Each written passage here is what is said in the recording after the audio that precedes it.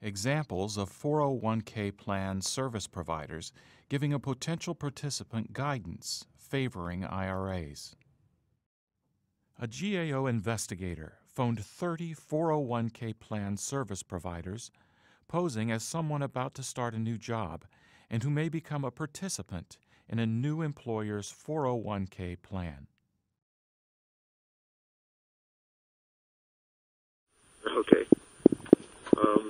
Yeah. Did you do you have uh, do you, you know do you have any uh, specific questions about kind of the basic differences between a 401k and say rolling it over into a uh, like a, re- a standard retirement account with us? Do you, do you kind of know the basic differences? Uh, if you could uh, enlighten me, I'd appreciate it. Okay, yeah. So the, the, the probably the main difference is that you're going to just uh, you're going to have a lot more choices here and more help.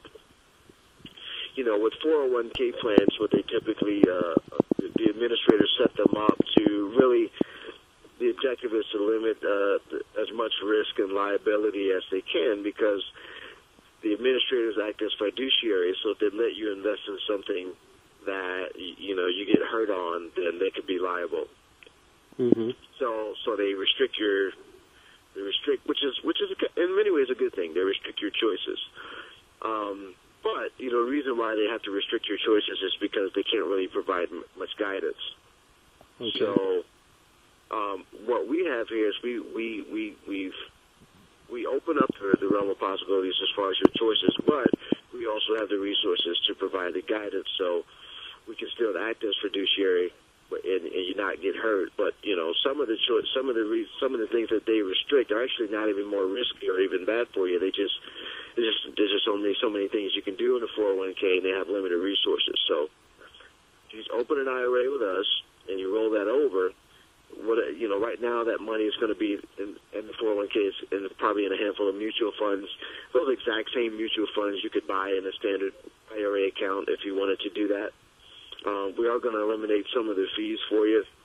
Um, you know, there are quarterly fees on 401ks. They don't, they haven't always disclosed that, um, but I, there's just some legislation now where now that's going to be requiring 401k administrators to disclose their fees. Um, but you know, our accounts have no fees, and uh, so you'll have you'll you'll you'll be able to, to I guess uh, do a little bit more here with. with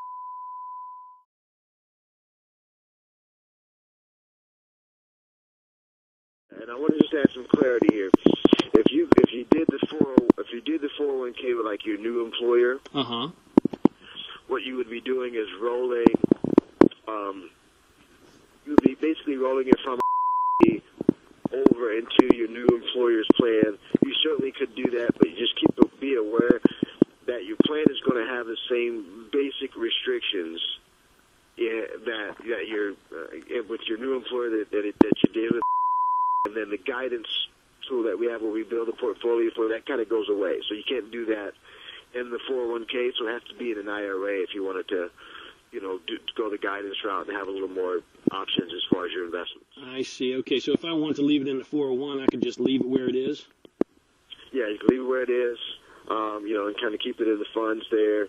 Um, I, I, I I say in, in almost every case, unless you don't have the option, it's it's almost it always almost always makes sense to roll it into an IRA that has no fees, like a no fee IRA, because basically, you know, even if you like the funds that are in your current 401k, you can just buy those in your IRA. It's the same thing. Also, all of those funds are available retail when you buy when you have them in an IRA. So there's you, you're not you're not missing anything by rolling it over, but you are forfeiting some things by leaving it where it is.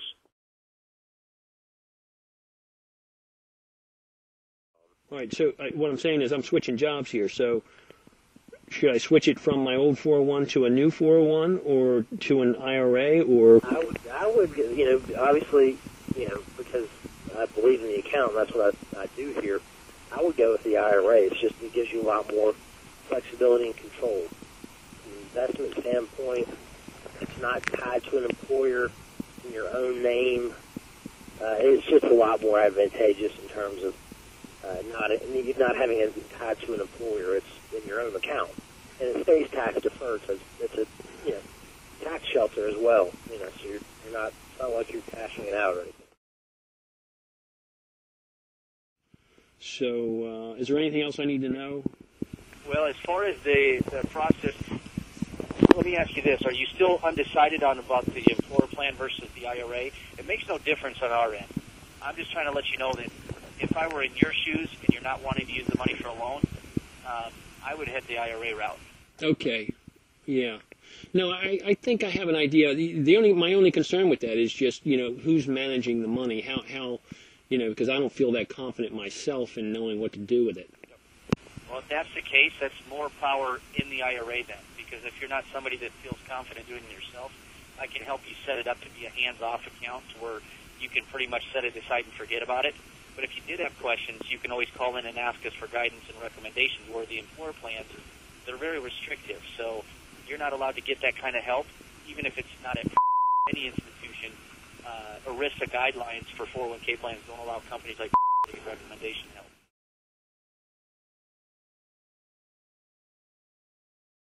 But if over the next five years you're going to be able to build that account up on your own and not need to touch those other assets, then I'm a firm believer in taking control of your money and putting it into an IRA that you can control. And that essentially takes it away from the, uh, the employer's command, if you will. Okay. So highly recommend in your particular situation, the IRA would be the best route. If I go to the new 401, now that's with you. I'm wondering, you know, what what options I, would I have the same options as I have with the IRA? Not necessarily. Um, they may have the similar platform that uh, you had before, where they're probably going to give you a handful, maybe 20 or 25 or so mutual funds to choose from. Some of our plans that we offer here at um, do allow you what's called a P or personal retirement account. Mm-hmm. May let you get outside of that platform box a little bit and, and invest in other things that you may. But the IRA is going to give you the full flexibility um, of, of the different options. Okay. The, the 401ks are limit, limiting because the the companies are the ones that set up those accounts. They want it um, to be easy to uh, record keep and administer, and so they've chosen all of those typically for you already of what you can actually choose from. This video is a part of a GAO report. 401k plans, labor, and IRS could improve the rollover process for participants. GAO 13 30.